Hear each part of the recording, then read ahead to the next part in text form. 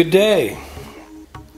I just wanted to take a couple minutes to show you what your BC 3300 will look like when it arrives and you pull the top of the crate off. You can see here the unit is uh, pretty simple to assemble. Aside from a fan that goes on the chaff unit, uh, you have the main unit of the roaster and our fairly good sized chaff unit. So we're going to show you how you can connect it Okay, we had a couple issues with our studio lighting, but we're ready to go unpack the BC3300 and show you how simple it is to set up and start uh, operating. Okay, as you can see, uh, our unit is unpacked. You see the parts right here. There's a few parts that'll be in your cooling tray. You'll have the hopper, which is a real simple attachment right on top here with just a hexagonal screw.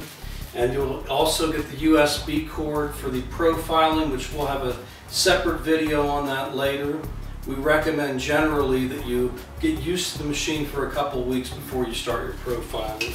And we also give you a couple of uh, uh, attachments to uh, tighten down your uh, uh, pipes. Now with that comes a couple of really inexpensive flexible tubing that uh, you'll clamp on to the machine and to the chaff unit as well as the cooling tray uh, and then you'll uh, pipe them out the building either through a permanent piping or however you choose to do. We recommend that you immediately after testing your unit buy permanent piping because that temporary uh, flexible piping is only good for a month or so and then has to be replaced after a time that's going to get expensive. Whereas permanent piping is not that expensive. You don't have to use the two uh, double insulated piping. I do recommend if you do go through a wall that you use insulation for that. And we have other videos that show you how to do a typical install. So I'm going to put set this up and I'm going to show you a few things about it. I did want to show you this on the uh, chaff unit. The chaff unit for the BC3300 has the area where you would open up to clean out your chaff after your day of roast or after several roasts. Uh, wet dry vac suck that right out or a, a uh, paintbrush. You also have this additional access point so you can do additional cleaning if necessary uh, right there.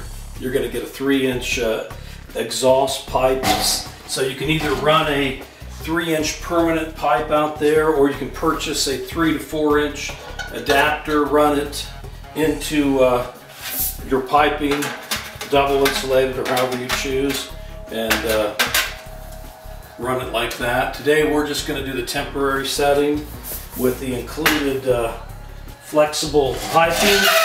And even if you do buy our toolkit, you will not get a uh, screwdriver.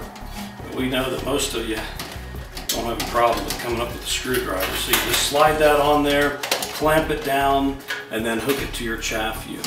So, as you can see, I hooked up the temporary piping to the exhaust from the unit and it goes over into the uh, chaff unit. You may notice I've got laying down there some fabric to protect the top of the housing so that we don't accidentally scratch it when we install it. I recommend you do that, whether it be a few pieces of newspaper, some cardboard.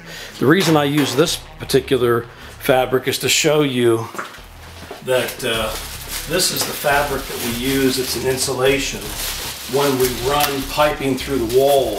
So anytime you uh, decide to run piping through the wall, definitely use approved heat insulation at that point. Just wanted to show you how simple it is to hook up the fan. The fan just sits right on top of the chaff unit. It doesn't have to be tightened down. Uh, it's pretty secure there. The cord to the fan is a little plug-in that goes right into the side of the unit and then is tightened down with the screw. And then from there you hook up a pipe that will exhaust outside the building. This is where most of your smoke for your entire roast is going to be coming through. So you want it nice and secure and you want this exiting the building. I just wanted to talk to you a little bit about the uh, power source.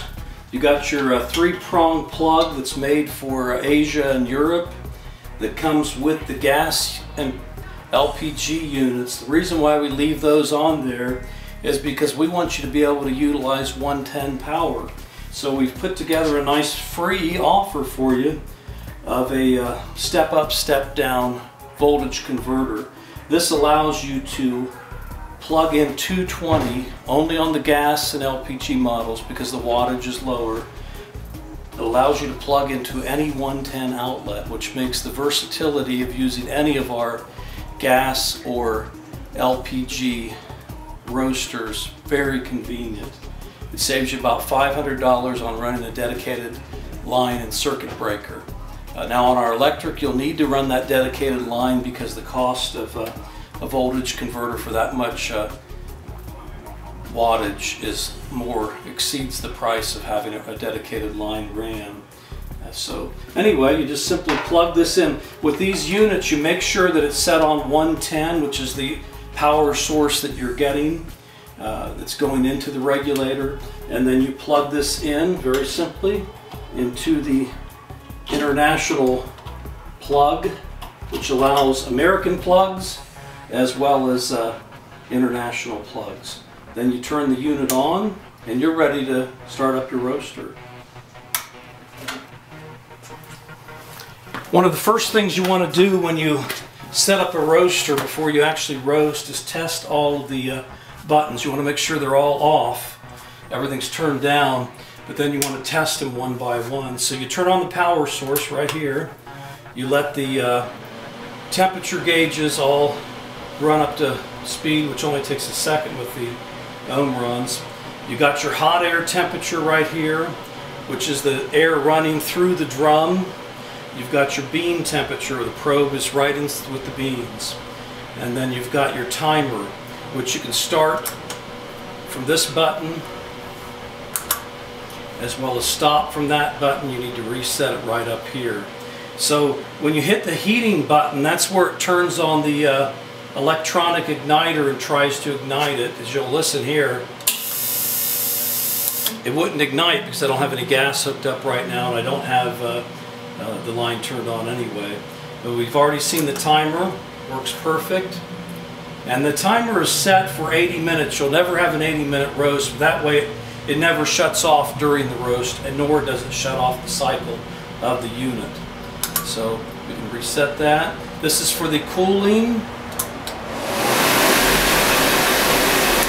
You can hear the powerful motor that runs uh, through the cooling tray, sucking the hot air out. Within a couple minutes, your roast is cool. And then the mixing, which is the arms circulating around the drum or the cooling tray to uh, stir things up and get that roast nice and uh, cool real quick. So in a moment, we'll hook up some LPG and we'll go through the cycle and see how it all works for you. One control I forgot to tell you about was the uh, drum speed control, which you can see right here. When you turn on the unit and it powers up, you flip this switch to on, and then you can adjust the drum speed. All of our BC models have this. Our newer Arizonas are getting them, and they're an excellent tool for fine tuning your uh, mellow coffee during the roast. So you want to turn that off when you're done, power everything down. When hooking up your fuel line, we are giving everyone that's a gas uh, or LP, well, an LPG customer, we're giving them one of these high pressure LPG lines. So the gas, if you go with the natural gas, you have to get your own regulator and you'll have to have it done by a certified uh, professional to give you the regulator set up the, uh, the gas lines and test it for no leaks. But simply put, if you're hooking these up yourself, you run a little piece of the uh, propane tape, just one loop around it, and that seals off any potential for leaks at any seal. These just screw right on. Of course, you'll want to tighten them with a wrench. And then your uh, your uh, machine hooks into this regulator. This regulator is one that you can adjust. So when you go to turn it on, when you do your roast, don't turn it past about a quarter, quarter turn. And the nice thing about the BCs is you got an adjustment both here as well as on the unit itself to make sure that your KPA stays between and generally between two and four.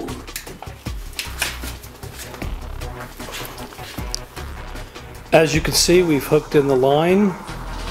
Always test for leaks with soapy water before you uh, power up the machine and you'll be ready to go. Okay, we've got the fuel line hooked up. We've turned it on here at the machine. And now we power up the machine. It's still turned on, gas going into the line. I hit the heating button, which is the igniter. You can hear it. I'll turn up this, and you'll hear that it's flamed up and turned right on. Okay, and now you can see that your KPA is between two and four. We're gonna crank it on to about three right now as we watch the machine begin to heat up. You got your hot air temperature right here, your bean temperature there, and here's your airflow. What you can hear is running the air through the, the drum. The gas and LPG drums are solid except for on the sides, so the air runs through the side, out the exhaust to the chaff. Generally, when you start a roast, you have your airflow turned way down because you want that heat to climb very quick. You turn this up between, you know, maybe three and four. You get it up to your temperature, your preheat temperature. You drop the beans then uh, the temperature drops dramatically, 150 to 200 degrees, and then after a moment or so it starts to climb again, and then uh, you begin to use your airflow. Some people right after they drop the beans will start the airflow at maybe 10%, maybe up to 20%, and then when the unit uh, it starts to get up past the preheat temperature, which for me is about 350 Fahrenheit. For some people it's as low as 320 Brothers 370, 380, whatever yours is. Uh, obviously, you don't want to let it go up to 370 or 380 before you start upping the airflow because you're going to start getting the first crack. So after a couple minutes, you, you may adjust your airflow up to 50. Uh, depending on how long you want the roast to go, your two main controls to uh, adjust the temperature are your amount of fuel going in here, which adjusts the KPA, which you want to keep between two and four, and then also your airflow will play a huge part in uh,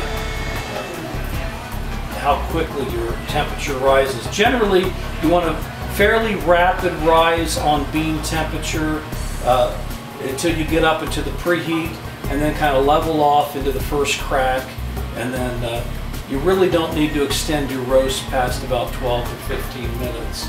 Uh, a lot of control has to do with uh, the drum speed, once you get up into that first crack, adjusting the drum speed as the beans become much lighter will play a part in the flavors of the nuances of your beans. So there's a lot of things to take into consideration. It's really pretty simple to use these machines. And of course, you're going to be using sight and sound after you drop the beans, using your uh, sample spoon as well as the window, and also uh, your sense of smell. And some even use a sense of taste as they drop sample beans every uh, half minute after first crack or every 15 seconds. So there you go. It's a very simple process. You're really going to enjoy roasting with these machines. They're very simple to use, and after you get used to one for a couple weeks, I encourage you to plug them in using the free uh, Artisan open source software, and you're going to begin profiling roasts and repeating them over and over. Again. One last thing, you can look down into the uh, window here. These do unscrew so you can pop it open. Really no need to during the roast, but you can look in and watch your uh, flame and, and see it that way so you got a visual on it. But remember, your main controls during the roast are your airflow. As airflow ultimately becomes about 70% of that heat source for heating your uh, beans, that convective heat source.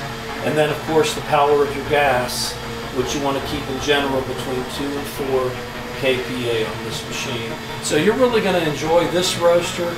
All of our roasters roast about the same. The Arizona, same kind of controls.